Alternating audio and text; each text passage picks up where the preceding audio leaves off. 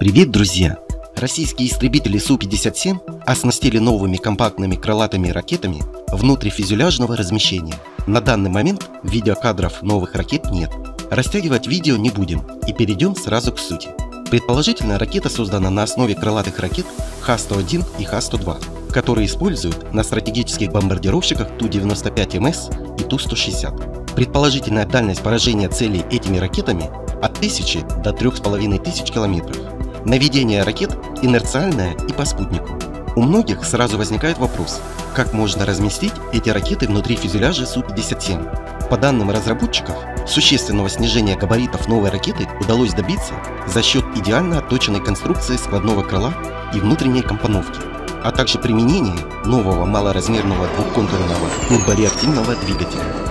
Оснащение Су-57 крылатыми ракетами фактически превращает самолет в малозаметный стратегический бомбардировщик, который сложно отследить.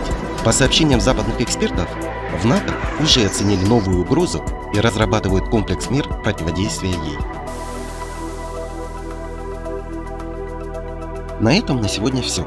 Друзья, спасибо за просмотр и помощь каналу. Мы осветим все.